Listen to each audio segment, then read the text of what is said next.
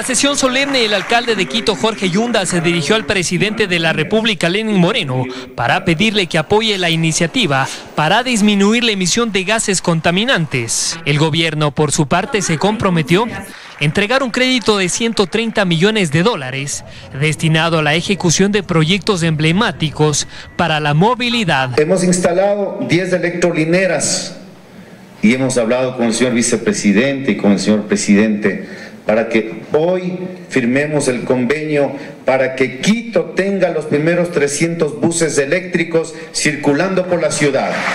Sobre el metro de Quito, Yunda dijo que el Consejo debe resolver la tarifa acorde con el servicio. También pidió a Moreno y al vicepresidente el aporte gubernamental para concretar la extensión del metro hacia la Ofelia. Y sé que lo vamos a poder lograr crecer hasta la Ofelia, señor presidente, señor vicepresidente, y nosotros continuar con otro tramo más del metro para que le sirva a todos los barrios de la ciudad.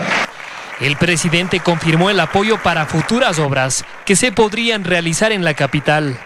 Lograr, por ejemplo, que la obra del metro siga creciendo y conectar el Parque La Carolina con los valles y el aeropuerto a través del Quito Férico, así como sustituir la flota de buses por unidades eléctricas. Yunda aclaró al final de su discurso que en Quito sí hay alcalde, tras mencionar las críticas que hubo en su contra por la gestión durante el paro de octubre pasado. Siempre como demócrata que soy, siempre defenderé el orden constituido si tenemos que manifestarnos, siempre tenemos que hacerlo en las, urnas. En Quito, Paul Coello, 24 horas.